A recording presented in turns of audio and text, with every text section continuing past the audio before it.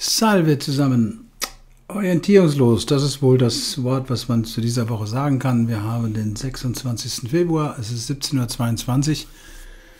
Der DAX rechnet noch, aber ist auch gleich fertig. Ich weiß jetzt nicht, ob da noch eine nennenswerte Veränderung kommt. Vor euch liegt der Wochenchart. Eine Kerze, eine Woche. Jetzt wird jeder von euch ein bisschen anderen Chart haben. Manche rechnen den dann von, was weiß ich, nachts um zwei oder von acht oder von neun oder was auch immer. Ähm, ich habe ihn so gezogen. Der hier ist von 8 Uhr morgens bis ähm, 17.30 Uhr.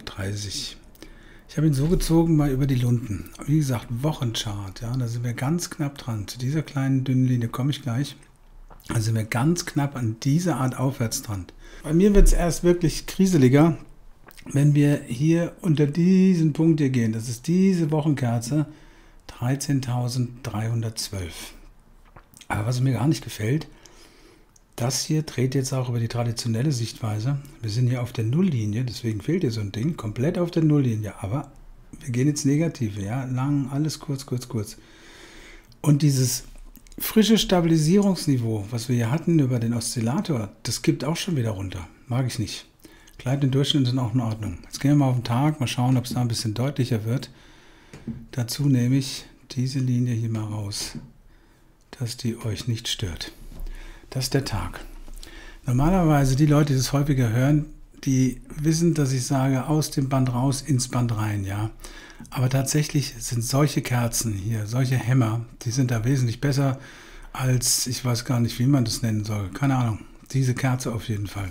Aber wir sind momentan wieder im inneren Band, im unteren Band. Die Bänder gehen zusammen. Das liegt daran, dass eigentlich die, die Oszillierung des Marktes relativ gering ist. Ja, auch wenn es dann manchmal 200, 250 Punkte in einem Tag sind, aber sie sind um die 10 und 20 Tage Linie rum. Die brechen jetzt hier auch runter.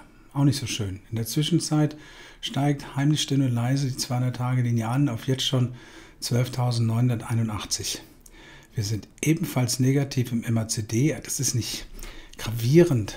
Also, das, aber wir sind negativ. Bumm aus. Der Oszillator ist in der Mitte seiner Bandbreite.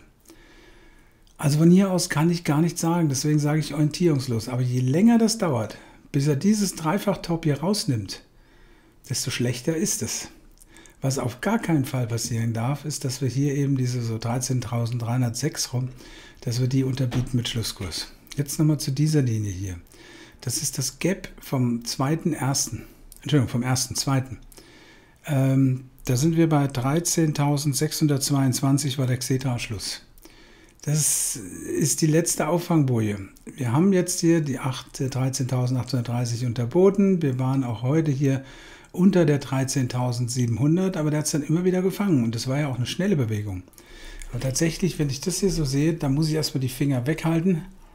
Ich muss in Einzelwerte gehen, aber der Index selbst, der gibt mir kein Signal, gar nichts. Ich habe euch trotzdem mal folgenden Schein mitgebracht. Und zwar liegt der hier unten drunter. Da. Das ist dieser hier, ein 13.282er. Das ist ein 26er Hebel mit der Kennnummer GF8ZHP. Zeppelin Heinrich Paula. Das ist der nächste, den ich momentan nehmen würde, aber nur, wenn wir zum Beispiel das Hoch von gestern, die 14.048 rausnehmen. Mit Schlusskurs. Oder wenigstens eine 1-Stunden-Kerze. Vorher nicht. Beim Put ist es nach wie vor ein bisschen einfacher. Der muss hier hinterliegen. Hinter diesem, diesem Dreifach-Top bei rund 14.160. Da kann ich den ja auch nehmen. Ne, warte mal, den nehme ich nicht, weil das ist nämlich ein zeitlich limitierter Schein. Ich nehme den hier. 14.342. Haben wir also schon ordentlich Platz. Ist trotzdem 26er Hebel.